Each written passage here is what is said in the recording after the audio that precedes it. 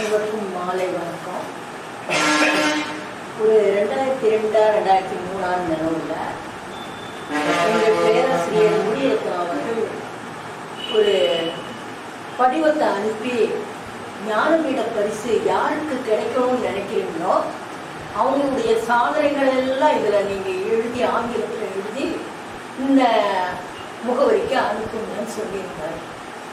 நான் உடனே அப்பதான் நான் வந்து ஜெயகாந்தனை முனைவர் பட்டத்துக்காக பதிவு செஞ்சுட்டு குறிப்புகள்லாம் என்கிட்ட ஏராளமாக இருந்தது ரொம்ப விரிவாக ஆங்கிலத்தில் எழுதி கட்டகத்தையாக ரெஜிஸ்டர்ட் பண்ண போஸ்ட்லாம் அனுப்பி வச்சுட்டேன்.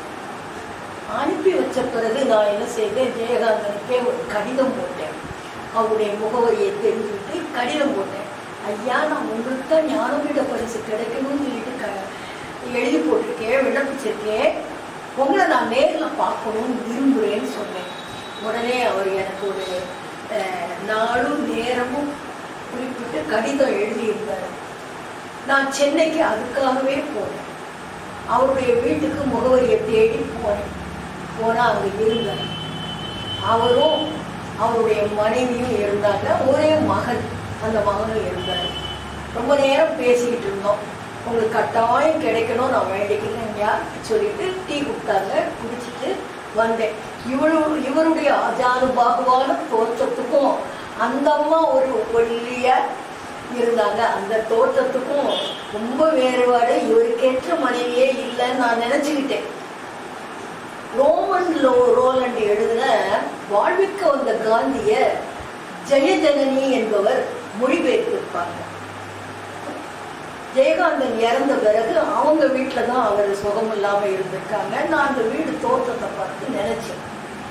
சமூகம் என்பது ஒரு நாலு பேர் என்று ஒரு கதை எழுதியிருப்பார். கோகிலா என்ன செய்து விட்டார் ஒரு சிறு குறுநாவலாகவும் அதே அதே நூலில் அடுத்து சமூகம் என்பது நாலு பேர்னு ஒரு கதையை இருக்கும் அவருடைய சொந்த வாழ்க்கை தான் அந்த கதை என்று நான் நம்புகிறேன். ஏன்னா ஜெயகாந்தனை பற்றி ஆராய்ச்சி செய்த ரெஜினா பாப்பா அவர்களும் அதை ஒப்புக்கொண்டாங்க. அவர் அந்த மாதிரிதான் அவருக்கு மற்றொரு மனைவி உண்டு. அந்த மனைவிக்கு ஒரு மகள். ஆக இவருக்கு முதல்ல பிறந்தது மனைவிக்கு ஒரு மகள். ரெண்டாவது ஜெயதலனுக்கு ஒரு மகள். அவங்க ஆங்கில பேராசிரியரா இருக்கணும்னு நினைக்கிறேன். ரோமன் ரோலந்து எழுதுன வாழ்விக்க வந்த காந்தியை தமிழ்ல மொழிபெயர்த்திருக்காங்க. நான் முனைவர் பட்டத்துக்காக எழுபத்தி எட்டு எழுபத்தி ஒன்பது எண்பது ஆயிரத்தி தொள்ளாயிரத்தி இந்த மூன்று ஆண்டுகளை குறிப்படுத்த அது இன்னும் ஒரு பெட்டியில பரன்ல கிடக்கு. இந்த குறிப்புகள் பூரா எல்லாம் இப்போ மறந்து விட்டது. நான் அப்புறம் முனைவர் பட்டம் கொடைக்கானல வாங்கினேன் அன்னை தெரசா பல்கலைக்கழகத்துல எண்பத்தஞ்சுல இருந்து தொடங்கி தொண்ணூத்தி மூணுல வாங்க எனக்கு நினைவிருக்கின்ற கதைகள்ல கங்கை எங்கே போகிறாள் வந்து ஒரு நாடி இல்லை. சில நேரங்களில் சில மனிதர்களோட தொடர்ச்சி என்ன நினைச்சாரோ தெரியல. அந்த கங்காங்கிற பாத்திரத்தை பிரபுவோட சேர்ந்து அவங்க ரொம்ப நல்ல ஒரு உறவுல இருப்பாங்க. அந்யோன்யமா இருப்பாங்க. ஆனா ஏனோ கடைசியில அந்த கங்கையை கங்கையிலே போக வச்சிடுறாரு. இந்த சமூகம் அந்த கங்காவை ஏற்றுக்கொள்ளாது என்பதற்காகவோ என்னவோ அவளை கங்கையிலே போக விட்டுறாரு.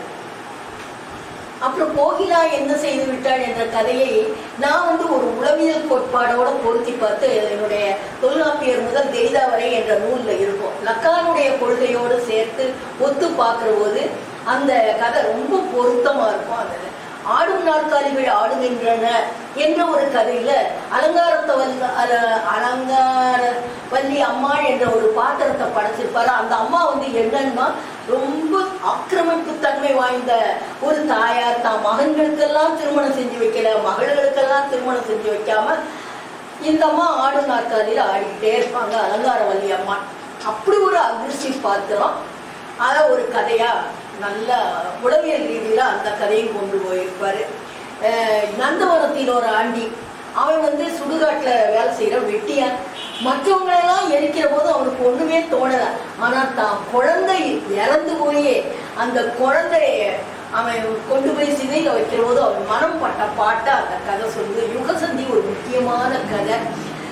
முந்தின தலைமுறைக்கும் பிந்தின தலைமுறைக்கும் சந்தியா இருந்து இடையில சேர்த்து வைக்கின்றவர் அந்த கௌரி பாட்டி என்ற அந்த கதையில வரும். இப்படி அருமையான கதைகளை எல்லாம் எழுதினவர் ஜெயகாந்தர். சிறுகதை மன்னன். அவரை நேரில் பார்த்த அனுபவம் எனக்கு ஏறக்குறைய ஒரு மணி நேரத்துக்கு மேலே பேசிக்கிட்டு இருந்தேன். அவர் வீட்டுக்கு போயிருக்கேன். இந்த மாதிரி ஒரு அனுபவம் வாழ்வில் கிடைக்கும். ஏன்னா அப்துல் கலாமை பார்க்கணும் பார்க்கணும்னு நினைச்சேன். கடைசி வரைக்கும் பார்க்க முடியாமலே போயிடுச்சு. இந்த பேரறிஞர்களை எல்லாம் பார்க்க கொண்டு வச்சிருக்கோம். நான் காந்தியை பார்த்துருக்கேன். நேரில் பார்த்துருக்கேன். அதனால ஜெயகாந்தன் கதைகளையாவது அவர் விட்டு சென்றது அவருடைய கதைகள். நான் ஆன்மா இதைத்தான் நினைக்கிறேன். ஆன்மா சட்டை அது இதுன்னு சொல்லுவாங்க. நான் இப்ப அந்த கட்டுரையை தான் எழுதிக்கிட்டு இருக்கேன். பிரம்மம் ஆன்மா முக்தி மாயை இதையெல்லாம் பற்றி நான் எழுதிக்கிட்டு இருக்கேன். அப்ப சட்டைன்னு சொல்றோம். ஆன்மா சட்டை சட்டை உடல் சட்டை ஆன்மா அழியாதது ஆன்மா அழியாதது நம்ம விட்டு சென்ற நூல்கள்லாம் அழியாம இருக்கு இல்லையா? நம்முடைய புகழெல்லாம் அழியாம இருக்கு இல்லையா? அதுதான் ஆன்மா அப்படின்னு நான் வச்சுக்கிறேன். என்னுடைய யதார்த்த கொள்கைப்படி அதுதான். இவர் ஆரம்பத்துல கம்யூனிஸ்டா இருந்து பிறகு ஆன்மீகவாதியா மாறினவர். நிறைய பேர் வந்து காலம் செல்ல செல்ல கடைசி காலத்துல ஆன்மீகவாதியா மாறிடுறாங்க. அது மாதிரி ஜெயகாந்தன் மாறி இவர் செய்யாத தொழில் கிடையாது. வடை வச்சிருக்காரு பேப்பர் வச்சிருக்காரு அச்சுக்கோப்பு இருந்திருக்காரு ப்ரூஃப் திருத்தி இருக்காரு ஜட்கா வண்டி ஓட்டியிருக்காரு. என்னென்ன தொழில் செய்யணுமோ அத்தனை தொழிலும் செஞ்சிருக்காரு.